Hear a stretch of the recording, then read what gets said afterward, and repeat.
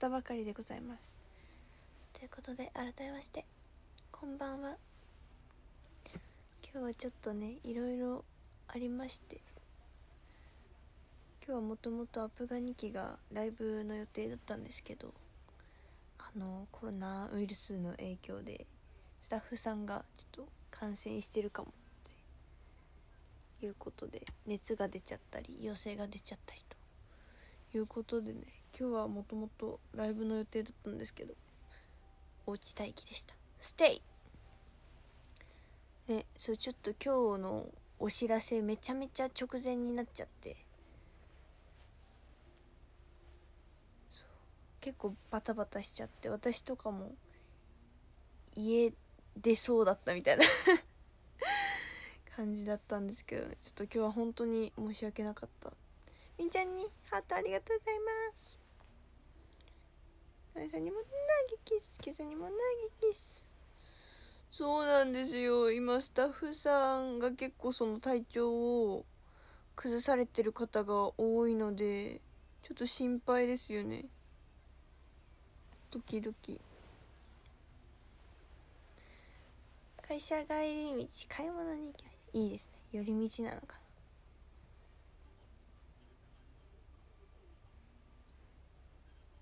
そうなんだよね。今メンバーはね多分元気だと思うんですけど。特にねちょっと熱がとかいう話はメンバーからは聞いてないですけど。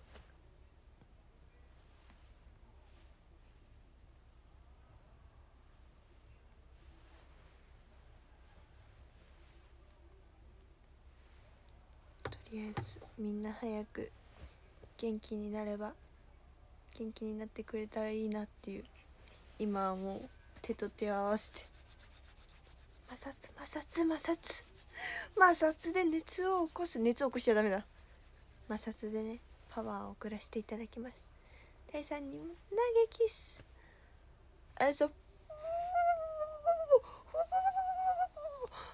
ファイトありがとうございますファイト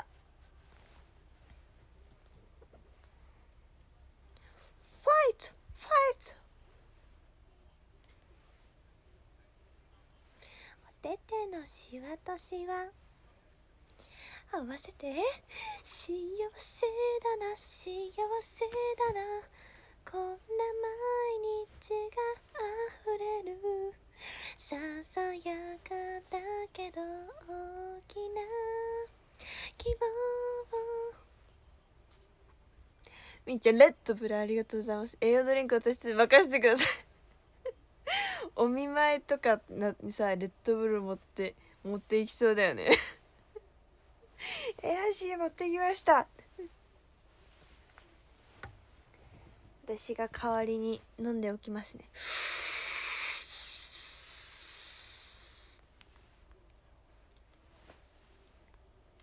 はい。そんな感じでございます。みんなも体調などなどなどなどお気をつけてお過ごしください。何それ。何？くれんの？多いなんか母ちゃんがくれました。何ですかこれは。何なんですかこれは。はい。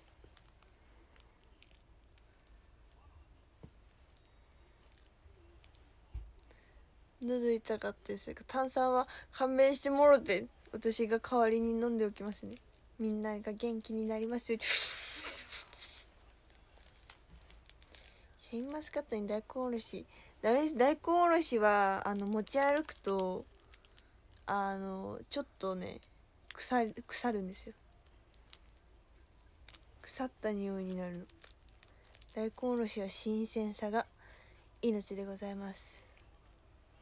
体に優しいやつ。春のフルーツこれ1本だって。ピーチルビーグレープフルーツブレンド。カムカム入り。カムカムってなんやの？ぷりビタミン CB2B12 お肌がツルツルになりそうですね。先取りしてます。流行は先取り。これ一本で流行りを抑えよう。周りのこと差をつけよう。春のフルーツこれ一本。ありがとうございます。ジグさんに投げキス。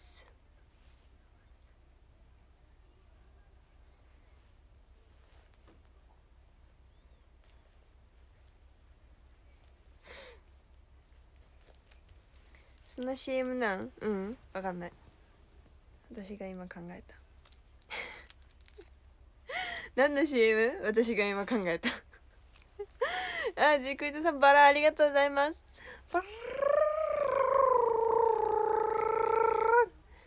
これただのバラじゃないんですね。素敵なバラでございます。ありがとう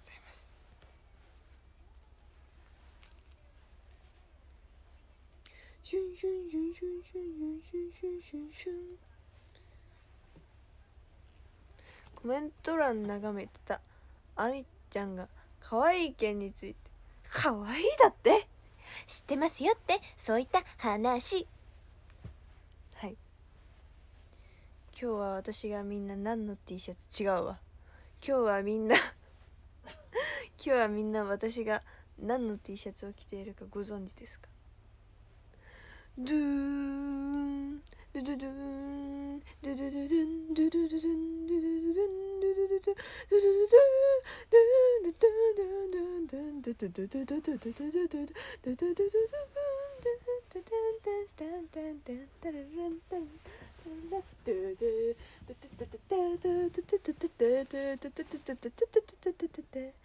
自分をあ髪の毛食べちゃった。正解は自分を信じてキラキラキラキラキラはい。これは今ですねアップティさんと NPP さんのコラボで出させていただいてる。グッズなんですけど。すごい素敵な T シャツでしょ？シンプルですね。届きました。やったもうゲットしてくれてる人がいるって幸せや。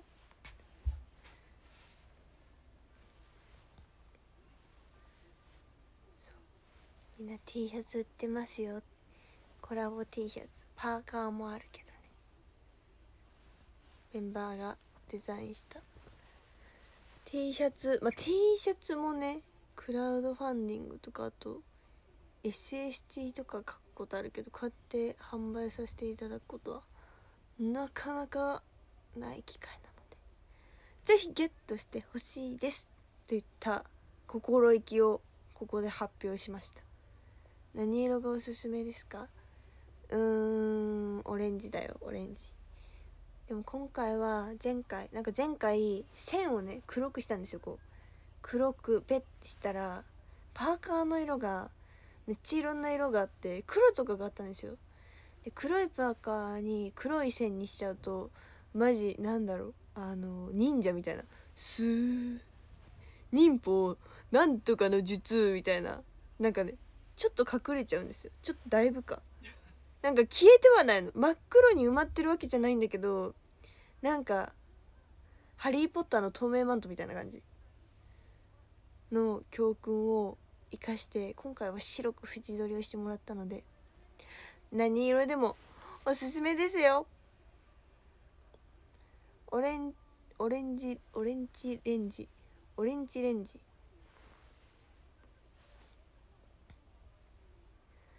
悩んで悩んで開発です。ぜひゲットしてほしいです。お揃いにしましょう。お揃いある。線香の下だと。わすごい。あれじゃん。なんかブラックライトみたいな感じやねい？いわね。縦書きより横書きにした理由。なんだろ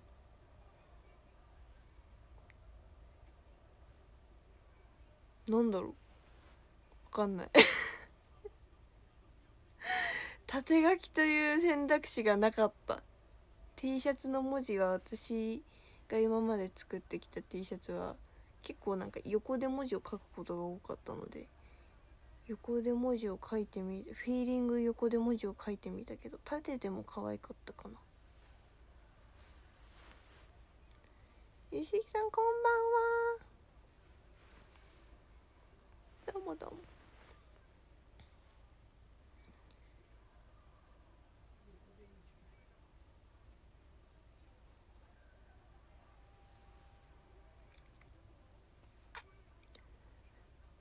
でもあの T シャツは余談。最初はねもともと全然デザインが違かったんですよね。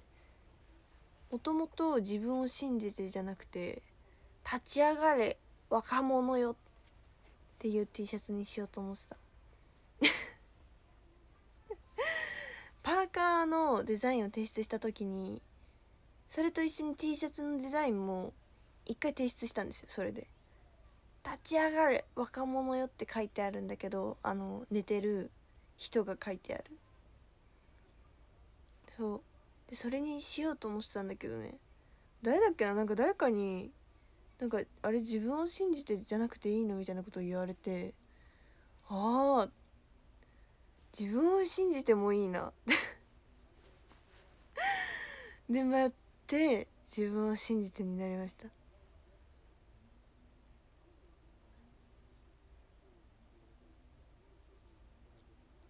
なんかね今回の T シャツのテーマが「新生活応援」って書いてあったんですよ。あ立ち上がる若者よいいじゃんと思って。そうそれもねそんなこともありながら結局これで完成しました。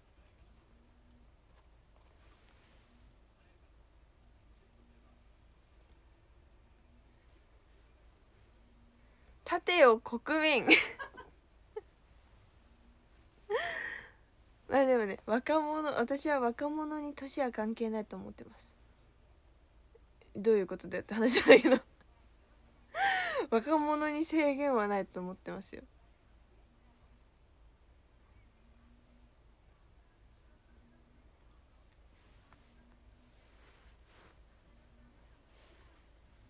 でも自分を信じてもめっちゃ応援だよね。I can do it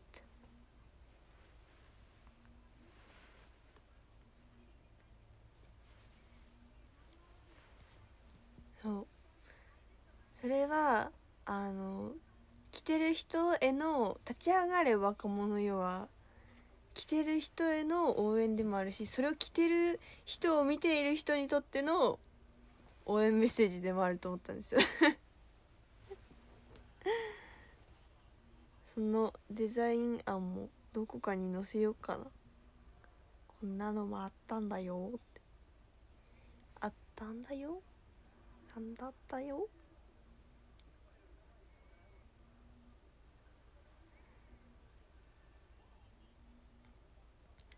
この前なんかでさなんだっけリリーベの時にさメイド猫耳メイドでリリーベをした時があったんですけどなんかその時にね写真を撮ってもらったっていう話をしたんですよ。その写真を見てほしい。じゃん。見て。どどシュなんかすごくない？いつもお世話になってる。カメラマンさんに撮っていただいたんですけど。なんか背景もピンクだったんですよもっとピンクじゃないわ。ピンクじゃなくてあの白い背景だったんですけどなんかピンクにしてもらいました。すごい。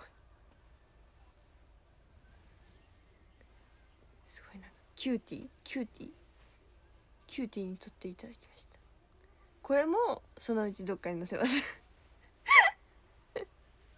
載せる載せる載せる載せる詐欺。どこかに載せます。みちゃんかわいいありがとう。かわいい。デルデルデル確かめっちゃ可愛いありがとうございます。めっちゃ可愛いい。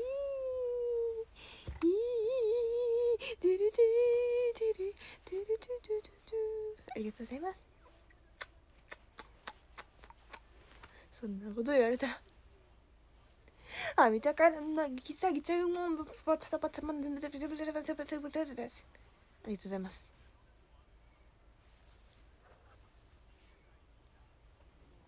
どこのメイド喫茶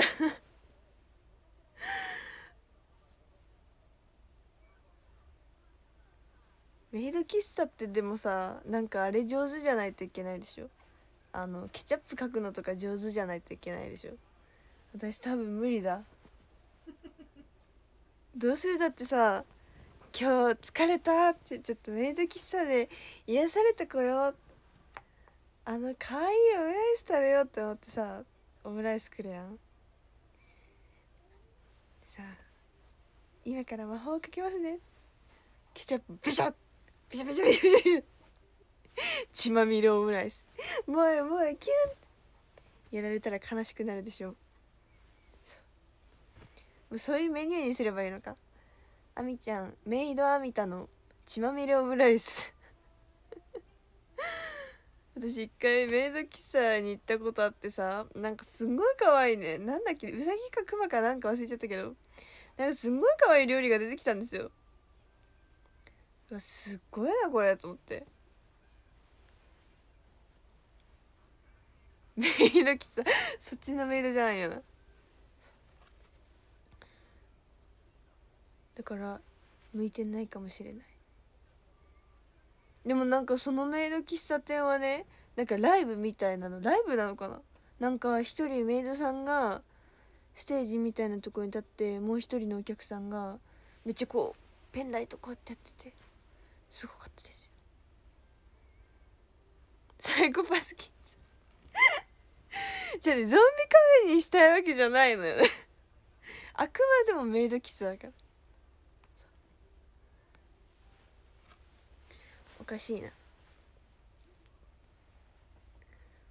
ホラーかけるかわいいにはならないか。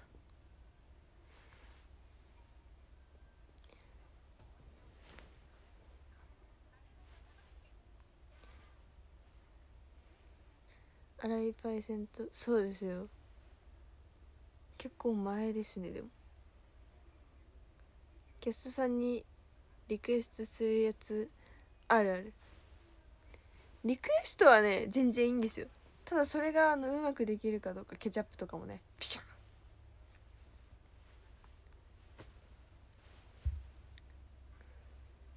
ライブの瀬取りに二の足入れてる子見たこと？ええー、すごいね。行ってみたい。行ってみたいそんなね。ガガニキの曲をね聞いてくれてる方がいらっしゃるめっちゃ行ってみたい。私も全力キャッしますよ。ぐるぐるぐるぐるぐるぐるぐるさーぐるぐるぐるぐるさーどこのお客さんよりもあのケチャケチャケチャれる自信ありますぐるぐるぐるぐるさーぐるぐるぐる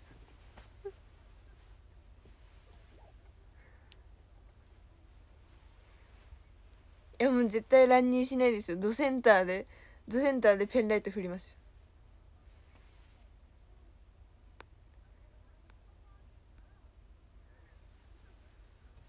シーサーハートありがとうございます。ラビッチュラビッチュ正体明かさずに言った。そういうことはねあのー、気にしたらダメ。なんかちょっとその自分的にはびっくりさせるつもりでいこうと思ってじゃあ今日は変装していきますとか言っても私私ってねめっちゃバレないんですよ。すっごいねあの普通にシンプルにバレない自信あって。でむしろご本人登場って言われてもそう。え？だどど どちらにいらっしゃるみたいな。だからそういう時はもう完全にあの完全に楽しむぞってつもりで行って楽しんで帰ってくるのが一番いいと思ってる。今日この頃。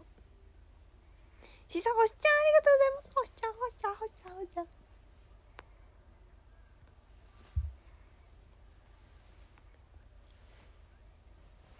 隠れ身の術。コーダー持ってないってお前う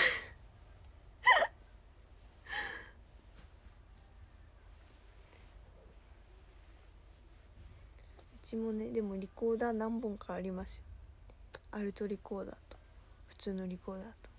ちっちゃいリコーダー持ち歩こうかな。あ鼻リコーダーなんか。バオバオバオバオ。あそうなんです。鼻リコーダーの鼻リコーダーの子です。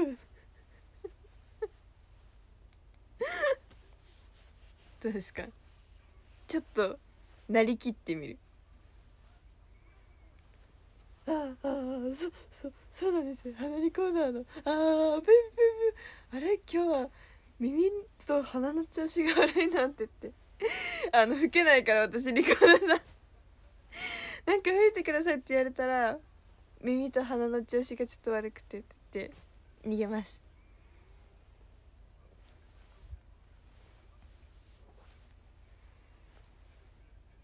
今日も先輩。ディスってないです。本当に違うんです。本当に。でもやっぱその共演してくださったアイドルさんとかにやっぱ離れコーダーって触れられる機会がすごく多くてやっぱ本当にすごいなって思います。この5年6年5年間をこう走り続けてきてやっぱその離リコーダーっていうのがすごくいろんな人にとって離リコーダーだってなってるのがすごいと思います。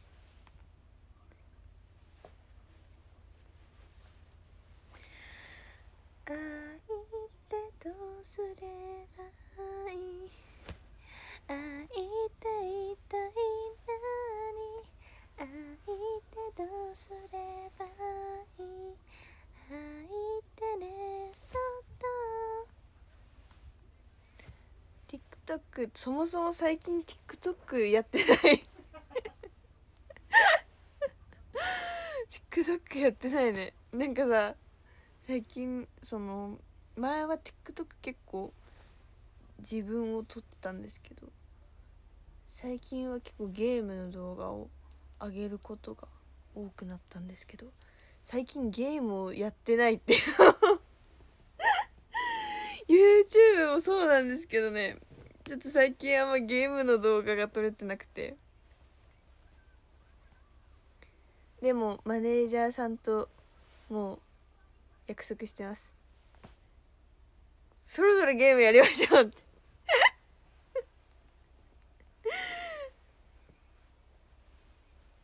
ニカさんのサイさん。いや本当に申し訳ないです。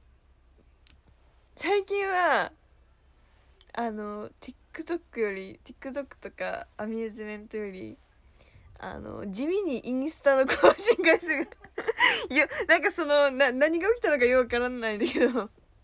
地味にインスタの更新回数が上がってるっていう。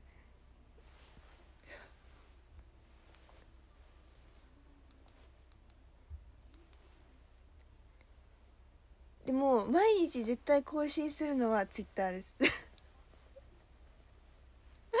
なんかツイッターはねすごくよく開く。なんでだろうね。インスタはインスタはめっちゃ開こうって思わないとなかなか開かないんだよね。そうやっぱインスタっておしゃれなんですよ。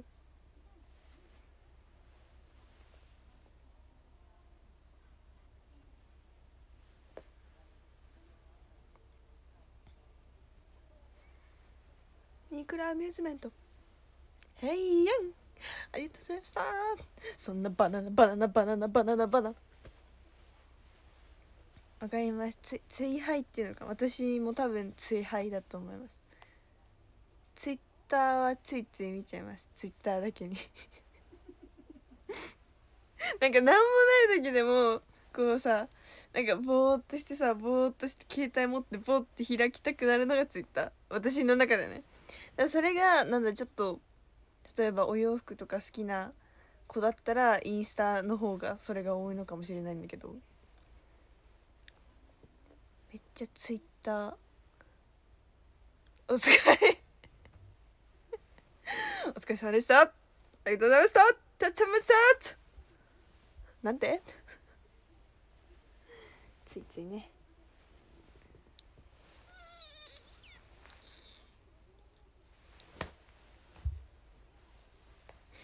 でもそろそろゲームはやりたい。最近ねなんかスイッチでセールやってたんですよ。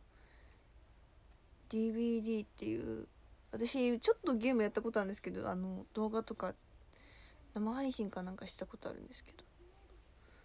おがセール中だったのでそれを買いました。そのうちやろうと思って。まだやってないけど。ばん。はそう貞子が追加されるらしいんですよ。貞子。テレレレンテレレレンテレレレレンテレテレテントゥルトゥルトゥントゥルトゥルトゥントゥルトゥルトゥントゥルトゥルトゥンサブアカサブアカはですね最近はマネージャーさんがたまにつぶやいてます。そう。あのサブアカは私とミンタ君とマネージャーさんがつぶやいてるんですけどマネージャーさんはちょっとゲーム関連のことをつぶやくことが多いんですよ。でもまあミンタ君兼私がつぶやく時はなんか引用リツイートとかリブばっかなんですよ。そ う大体ね第三人格。ゲームアカウントって言ってるのにあのニークラーミーに対するあのちょっかいにしか使わない。アカウントです。もう何をしてるんだか。What's, What's is love? ただ一人を納得させられないで世界中口説けるの。ただ一人を不安にさせたままで世界中幸せにできるの。持たないっていうさ。悲しいね。いんちゃんありがとうだよ。厚切りジェイソンさんなんなんでしたっけ？めっちゃ覚えてます。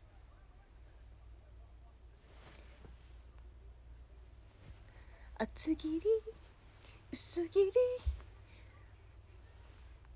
私は厚いあそれだ。Why Japanese people.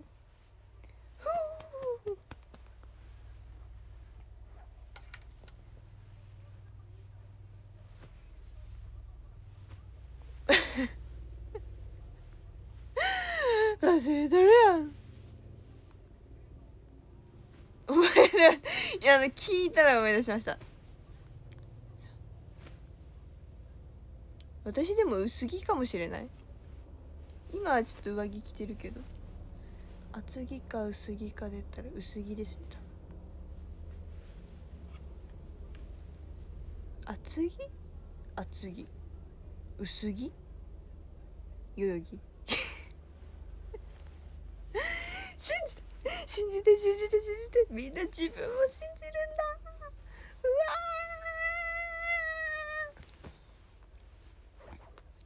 わじゃんじゃんじゃんじゃん。じゃんじゃじゃんじゃんみんな今日も一日お疲れ様です。今日は魔の木曜日ですよ今日超えれば明日。花の金曜がやってきます。花の金曜乗り越えたら偽りのない土曜日が来る。しょうたれ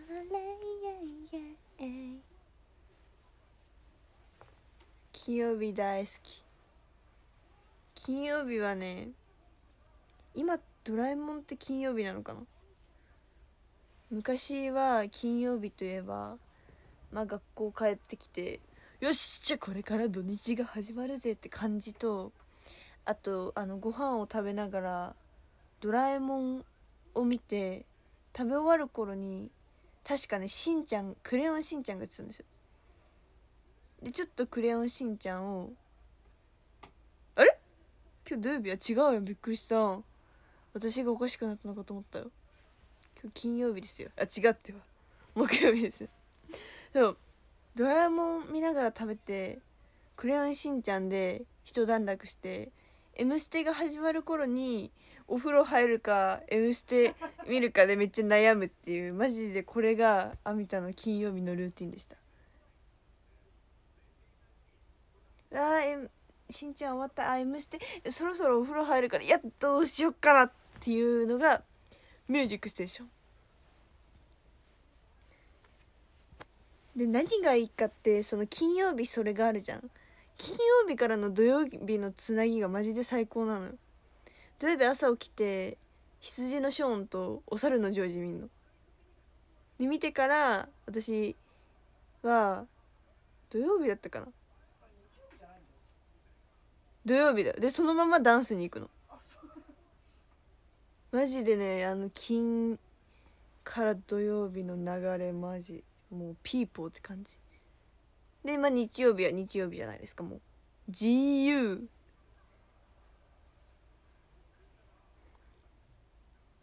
M ステ見て階段降りる夢とるあれですよ私あの階段さあの分かるこう階段を普通の人はこうやって降りるじゃん。違うの。こうやって降りる人分かる？このさ段差があるんだけどさ段差がこうこうやって降りる人いるじゃん。私あれあれやりたいです。もしいつかね夢のミュージックステーションにとかねあの大きいステージとか2段になってるステージとかって多分階段があると思うんですよ。もうそういう大きいステージとかであのこうまず後ろの一番上からねズーンってメンバーが出てくるやん。で曲が始まってズンズンズンズン。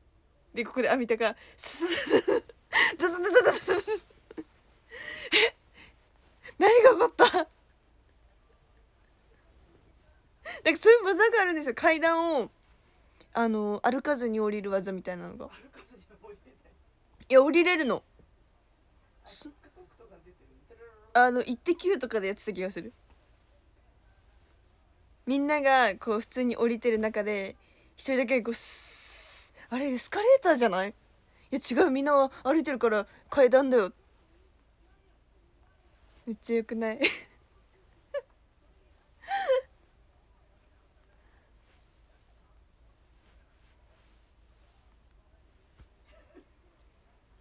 あ中岡さんかもしれない。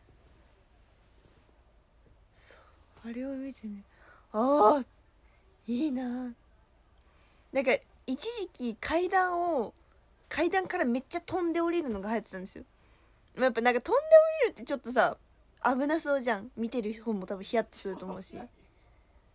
だからさ私滑り降りるようになりたいんだよねカタカタカタカタカタカタ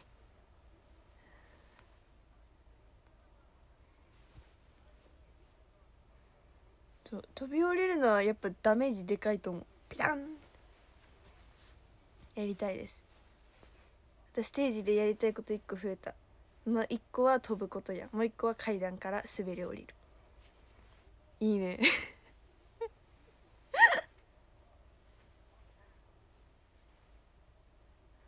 カメラマンなんか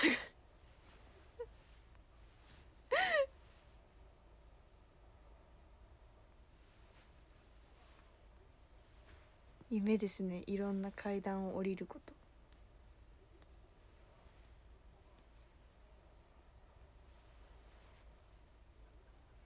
最後の2段ぐらい宙返りして降りた。いじゃあ宙返りはあれだあのステージがさこう下からブーンバーンって出てきた時にみんなこうファーってジャンプしながら出てくるんだけど私は結構一回回る。シャン。スタン。じゃーん。てれてれててんてんてんてん。かっこよくない？そうジャンプして登場するんだけどその時に一人だけ回りながら登場。で回りながら登場した後にあのヒーリーズでこうシュー 滑る。そんな運動神経ありました？ないない人ほど多分ね夢見るんだと思う。じどれだけできないのかが多分自分で分かってないからね。私はだから夢を見るよ。マジで今言った中で何一つできないけど。ヒーリーズ。もできるのかな？本当に？何年ぶり？ビーロンリーで火めっちゃ欲しい。あと雨に歌えばガチで雨降ってくる。びちゃびちゃびちゃびちゃびちゃびちゃびちゃびちゃびちゃびちゃびちゃびちゃびちゃびちゃでんでんでんでんでんあとなんだろう何ができるかな。空飛ぶのは何の曲がいいんだろう。空飛ぶのって難しいよねなんか。場合によってはちょっとさ不思議な感じに見える気がしてね。こんばんは。ふなっしーです。なっしーなっしー。ありがとうっすにゃんちゅう。みーはにゃんちゅうだにゃん。空飛ぶ。でもなんか元気な曲の方が合うのかな？私なんかかっこいい曲で空を飛びきれなそうだと思うんですよ。楽しくなっちゃってさ。だかなんか笑顔で飛べる曲がいいな。333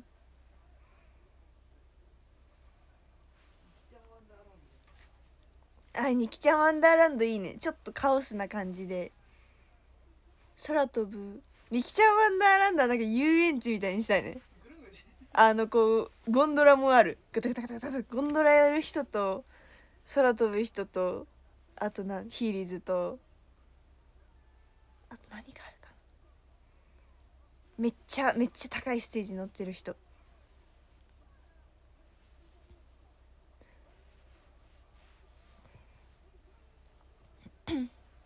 私は空飛びたいですちなみに。ハ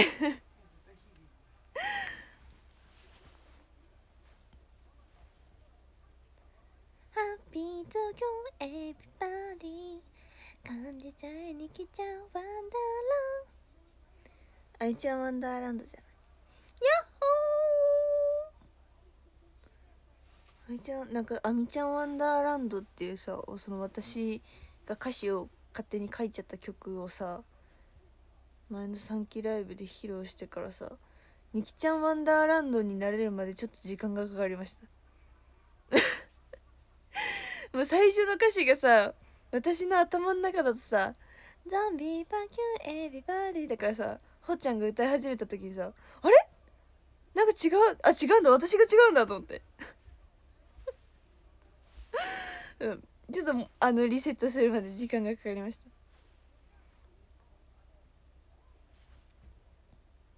でも私のパートはそんなに変わらないから大丈夫だと思う。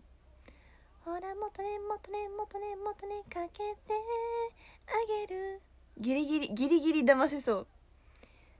かけて分けてほら元ね元ね元ね元ね顔であげる どうやら間違っていたのは私だったようだ。ゾンビと人間ってきっとかけがえない包丁。ここも一緒です私歌詞。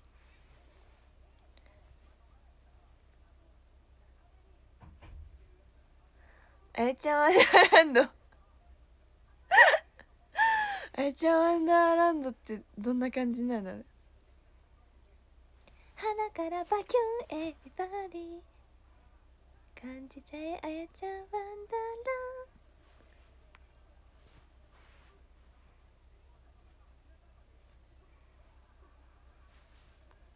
ド。お前だったのか。犯人はお前だ。ありがとうございました。そう梶さんは多分リコーダー持ってると思うので最初の振りはこうです。鼻からバキュン。エビバーティ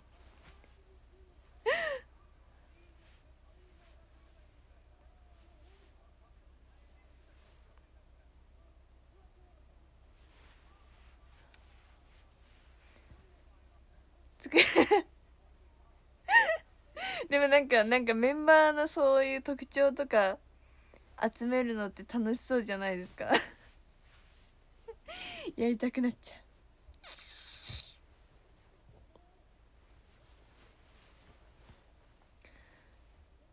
う。ニカさん面白いですね。ほんまにほんまに思ってはりますか？そんなこと言われちゃったら私も。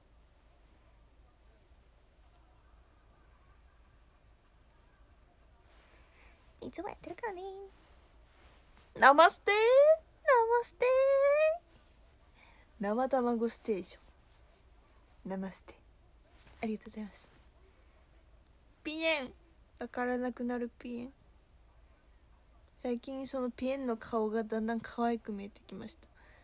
なんかピエンが流行り始めた頃はさちょっとこの何とも言えないこの訴えかけてくる顔を見てさ私も何とも言えない気持ちになってたんですけど。最近この顔文字がすごく可愛く見えてきました。なんか最初はさ流行ってた時にさなんかその訴えかけてこの目目がなんかねなんかね なんかこうちょっとあのスコーンってやりたくなる感じだったんですけど可愛いよね。ピエン？ピエン？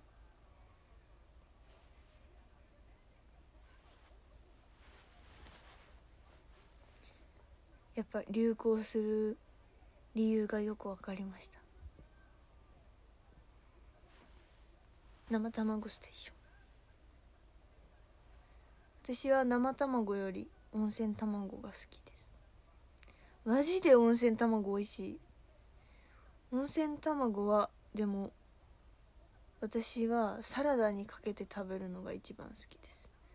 森永さんはピエンが流行る3年前から使ってた。強すぎでしょ。もうそれは確実に森永さんが流行らせてたと言っても過言ではない。ピエンパオンスコーン。シーザーサラダ。うんチョレギサラダです。チョレギサラダに温泉卵。シーザーサラダはシーザーサラダやん。温泉卵は作れない。温泉卵ってどうやって作るの？普通に茹でたらだってゆで卵になっちゃうね。分かった。レンジでチンだ。多分マグカップにお湯入れてその中に卵入れてレンジでチンとかするんでしょ。もう分かっちゃったよ私は。普通に茹でたらゆで卵になる。それはわかる。違う？違うって。爆発しちゃって。じゃあ違うわ。私は作れない。いやでもわかるぞ。なんとなく雰囲気はわかる。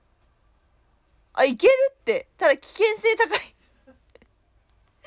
やだよ。そんなゆで卵ゆで卵何卵だっけ？温泉卵のためにちょっとねライフを使うのは非常に恐ろしいので。あ分かった分かった分かった。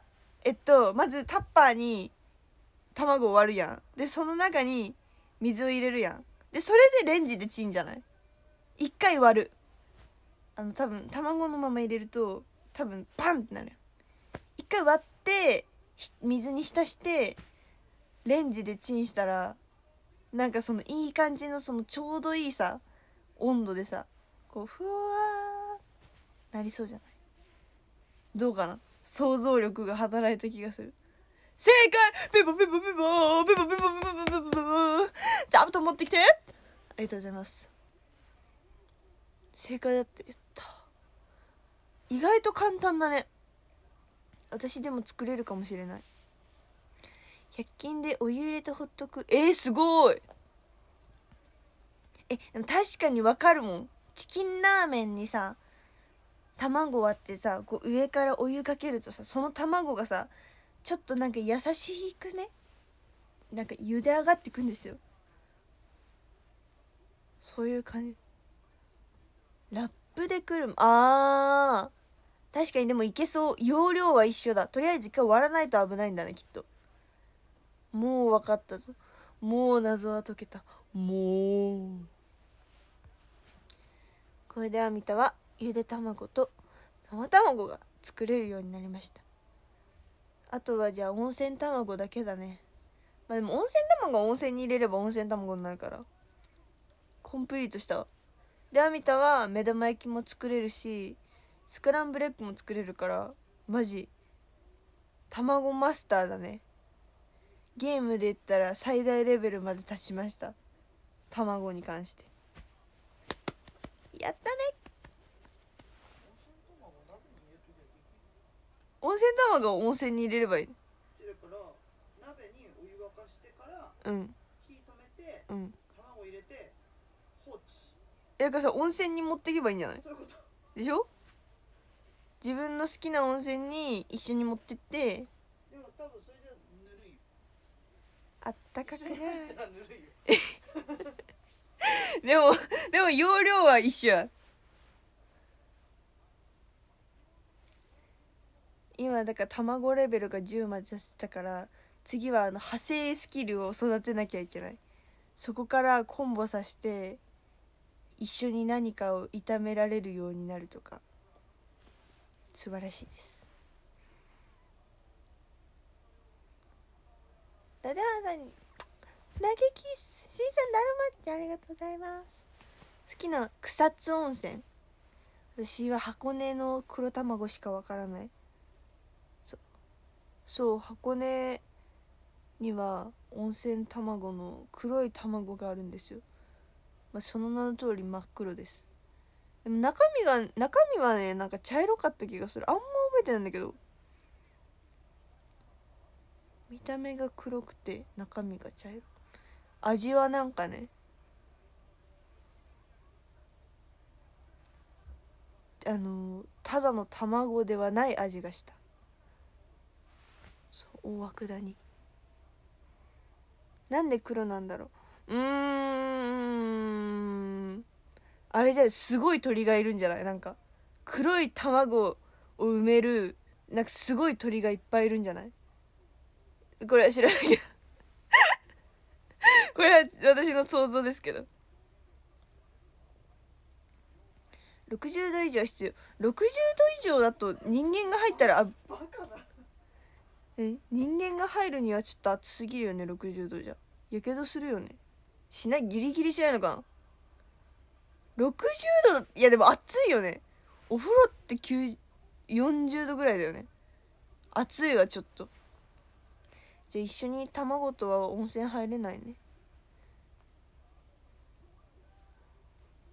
流流硫酸？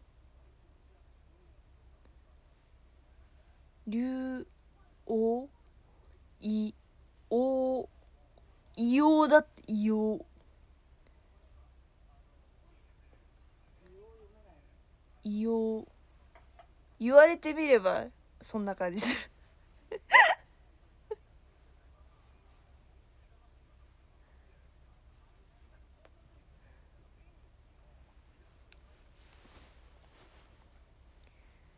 なんか分かったぞ。つまり何が言いたいかっていうと温泉の中に含まれてるその硫黄ってやつがあのとんでもない効果を発してるわけね。分かった。でそのとんでもない効果を発した結果箱根のあれ黒くなるね。大体分かった。皆さんぜひ一度箱根に。来てみてください。Welcome to 箱根。シ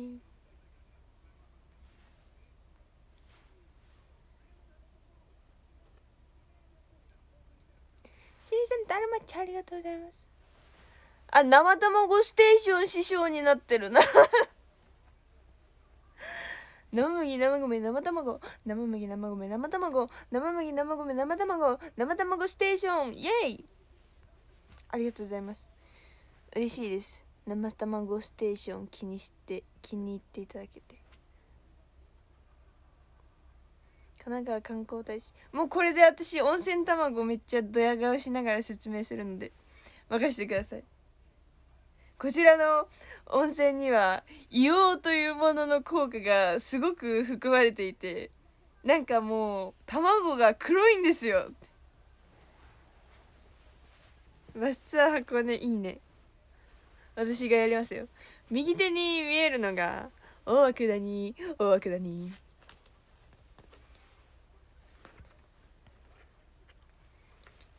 温泉卵みたいな。温泉卵みたいな顔しやがって。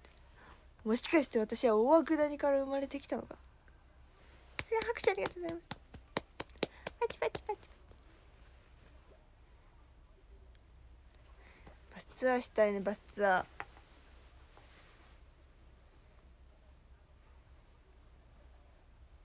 神奈川2人いる。バスを2個使っていく。で神奈川2人いるからしまちゃんとあみたがそれぞれのバスリーダーになってめっちゃ案内する。しまちゃんの方のバスはあのすごいね。ツアーを聞きながら「あ癒されるな」あみたの方のバスはなんかしけってんなこのバスガイド。なんかしけってんだよな。湿気多めのバス。湿気多めの2号車阿弥陀号。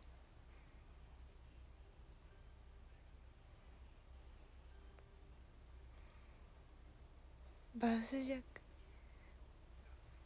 全員1人150円ずつ出しなさい。今から私がこれを集めてそこでお土産を買ってくる。動くな。って言っておすすめのお土産を。なんだろう。あのステーションステーションステーション。ステーション。あのステーション。なななんかなんかステーション。ステーション。ステーション。なんだっけな。ステーション。あパパークパーク。パーク。パーク。なんだっけな。パーク。パーク。パーキングエリア。サービスエリアだ。あれパーキングエリア？サービスエリア？あれ何エリアっていうの？あの途中下車できるさ。サービスエリア。サービスエリアかな？そう。サービスエリアに着いたら私が一回弱視に行きます。全員200円ずつだし今からこれでとっておきのお土産買ってきて。一歩も動くんじゃない。動いたらお土産はなしだ。だー。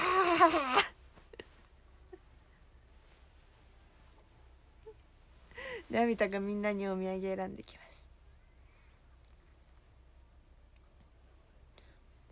パーキングエリアもある。あ一緒？サービスエリアとパーキングエリアって一緒なんね。あれかパーキングが車を止めるエリアでサービスエリアはなんかお土産とかなんかそっち系の意味合いなのかな。車止めてる人はパーキング。なんか物買ってる人はサービスなんじゃない？じゃあけど。そんな気がする。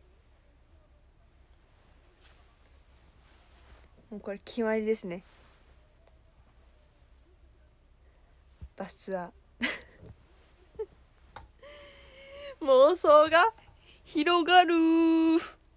夢はでっかく肉ラーメンです大体そんなでしょ？なんかすっきりしましたとても。よしそろそろ順位を読みますわ。13ハローさん12たかしさん11奥野寺さん11クリトさん9位ミッキーさん8位ステッチさん7位ブルース・リスさん6位ナオさん5位アルさん4位シンさんありがとうございます。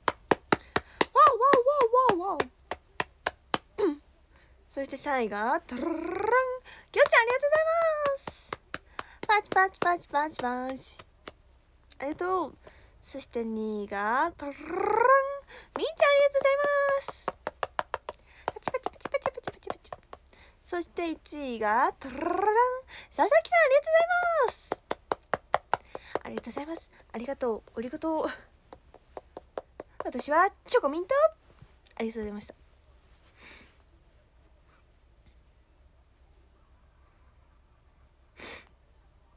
ということでですねついに来週みんちゃんありがとうありがとうでございます。ありがとう。ついに来週からツアーが始まります。ちょっと今はね結構バタバタしてたりもするんですけど無事に開催できることを願ってそして皆さんの健康身の安全を願って今日も明日も過ごしていければ良いなと思ってます。引き続きでねショー引き続きショールームではチケット販売してるのでサイン入りメッセージ入りなんかいろいろ入ってるチケットがついてくるのでぜひそちらの方もゲットしていただけると嬉しいです。それでは本日もお越しいただきありがとうございました。ありがとう。ありがとう。ということでじゃあ私が自分をと言ったら皆さん信じてよろしくお願いします。ドゥンドゥンドゥンドゥンドゥンドゥンドゥンドゥンドゥン。ドゥンそれでは皆さん自分を。